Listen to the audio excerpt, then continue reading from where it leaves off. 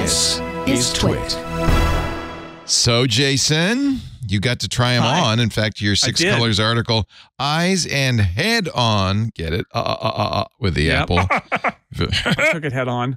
Took it right in the forehead. I, I could never get it to fit exactly right. I came out of there feeling like I was uh, I had a really? big It didn't sit, Neanderthal brow. sit I couldn't nicely get it. on your I couldn't get. it. I mean that that's happened with other VR headsets I've tried, Mm. and they've got they they made the claim that they've got this one piece that fits the light shield that is like they're going to be a lot of sizes of them, but they didn't have that many sizes of them Right. for whatever reason. I could never I really thought- get comfortable and- with it. Didn't they And say they were going to scan your head and then Oh yeah, they did. create They did, a but- custom? but- But it, like, if if their plan is to have 15 sizes or 12 sizes at launch, and they've only got four now, right, right. then they scanned my face, which they did do very much like Face ID. And then I guess they looked at it and said, "Well, I Can't don't know what to you." do here. Just stick Bob, stick uh, the medium on, and we'll see what happens." We got Jason Neanderthal Snell over here. Yep. You got any beetle brow uh, face masks? There, there's also something interesting that someone on social media pointed out that I missed in the keynote. Some of like the canned, like the canned, like fake living room uh, videos, they had like a, a strap over Top the strap. top of their head. Yeah, we all had That we never talked about. It. You all had that. Yeah, Okay. absolutely. It was a Velcro top strap to help with you know help with stabilization, the weight off, and too. carrying the Yeah, carrying the weight across your whole head, okay. and and yeah, they did have that, and and uh, it I was wonder why they nice. All the that. materials, you you will be surprised. I don't know why. Uh, it- it's who knows. They, you will be surprised to hear that the materials made in the headband and the strap are of the highest quality. They're very very well made. Made with the uh, best because it's Apple, lint of course. from the finest fine rags. Corinthian leather. Yes. Yeah. hmm Uh, yeah, uh, Oculus Pro or whatever they call it, Meta Quest Pro Quest Pro, uh, yeah. has an optional uh, top strap, and I actually don't use it, uh, but I don't wear it for very long. So I think for le- Mm. lengthy periods of time, you might want to have that Yeah. top strap. So that's not an option. That's something that comes with. It sounds like I think so. we don't I know. think so. Yeah, it's hard to know. But, but yeah, there's so much we don't know about this product. We only know what Apple wants us to know about this product, Right. and even barely that. I am. I am. uh I have a new bet that they will not ship it with spooky eyes, but I'm just that's my my guess. That That is would- that is that is not a that's that is not a bad guess. I Yeah. don't I don't I don't know for sure. I'm I'm just saying that that's they got a lot of gambling. They got a lot riding on that. It's got to either work completely 100% non goofy, or let's just wait for it. yeah, I and then it must add a not little bit working, to the, right? those lenticular uh, screens. Must add a bit to the bill of materials. And I'm sh- I'm sure it does. I mean, it's very clever, and they, they've said like you know you can't just put a screen on it showing eyes because if you're off axis, it looks ridiculous. It looks like a screen showing eyes, like they're following you or something. It's weird. So they did this lenticular thing. But I will say again. Nobody has seen that feature, right? It's in some of those videos. I'm uh, Oh. unclear whether they actually are even there. You don't see it in the your demo.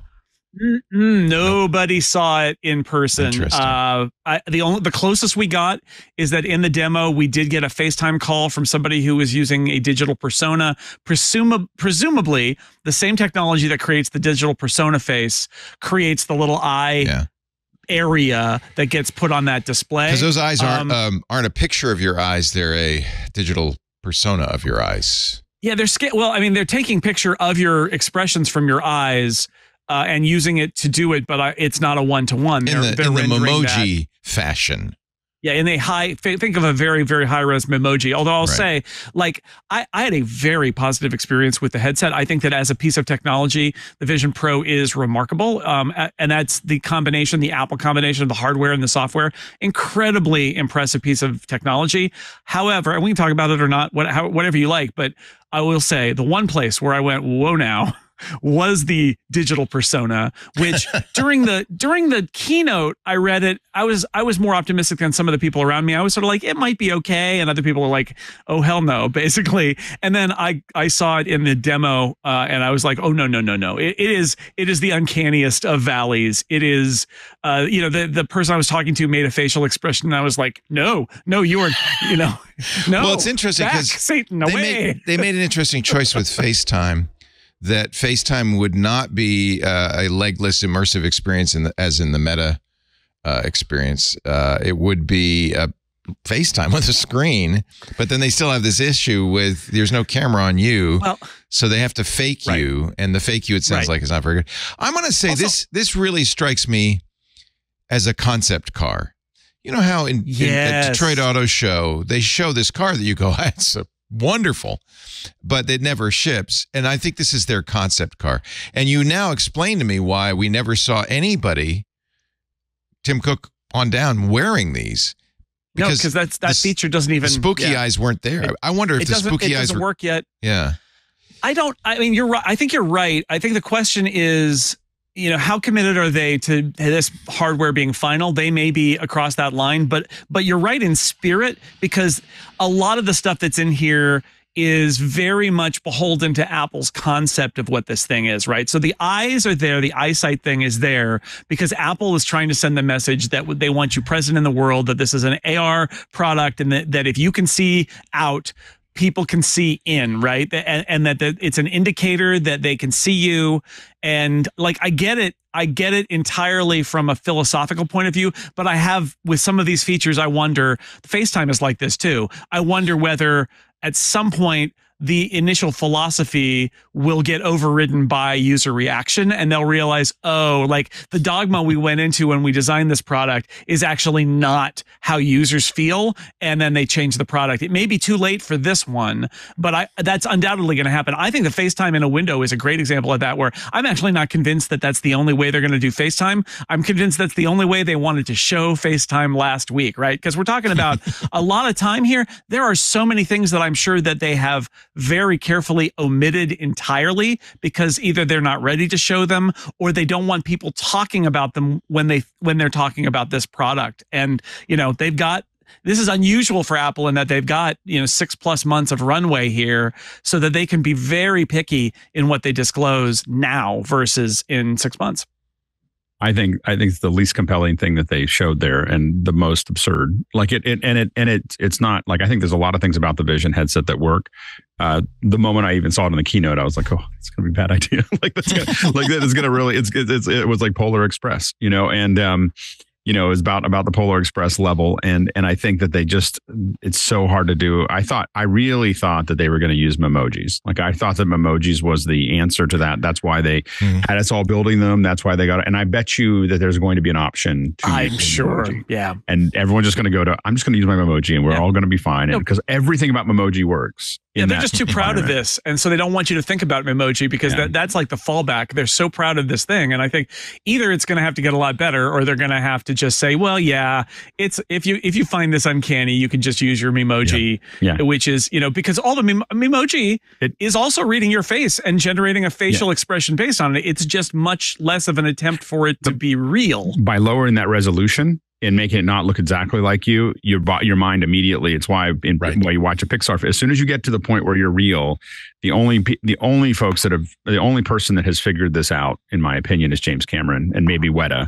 you know, in the world with millions and millions and hundreds of millions of dollars, they figured out how to get that to work And not in Um, real time.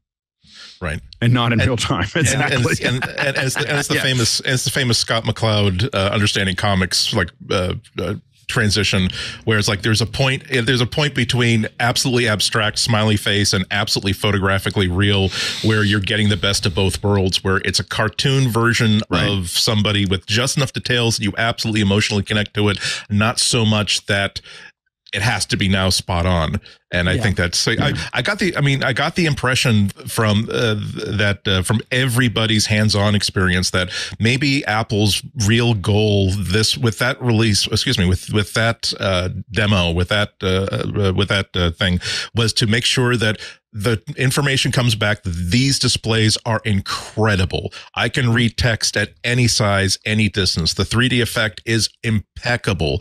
Uh, and not quite, and also not quite so many people come back saying after half hour I got nauseous or I got headaches. Right. Because just just like with the Apple Watch, so long as they get the hardware right, they can they can build the software, they can fix the software, they can hold back software features until they're ready.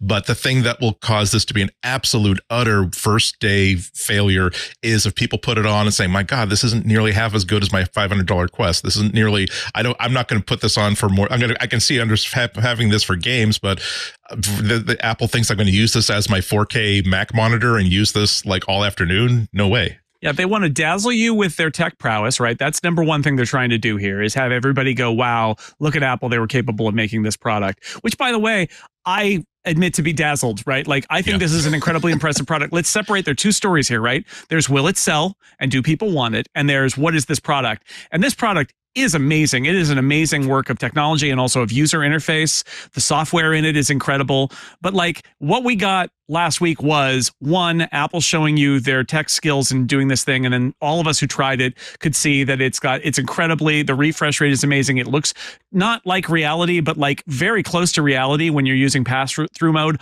All that stuff is impressive. And then the other thing that we're trying to do is, I think, blunt criticism of the story that would be Apple wants to cut you off from the world. So everything Apple did was like, no, no, we are being humane here. I, the word I keep coming back to is humane. It's like the headband is soft woven material. We can see your eyes when you can see us. We, you, everything is a default to AR, not VR. Everything defaults to you seeing everything around you. They had that ridiculous shot in the promo video where somebody is packing their suitcase while wearing the headset, which is just like it's bananas. But I know why it's there. There, it's there because they want to say, "Look, you're in the world with this thing." And I think that literally was their number two goal with this product is to stop people from saying Apple wants you to put a thing on your face where you never see anybody ever again because they don't want to be seen as being kind of a detriment to society. And I think Yeah. that that was what they were going for.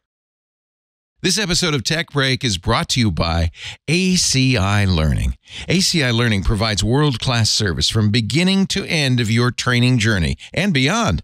Fortify your expertise with access to self paced IT training videos, interactive practice labs, and certification practice tests.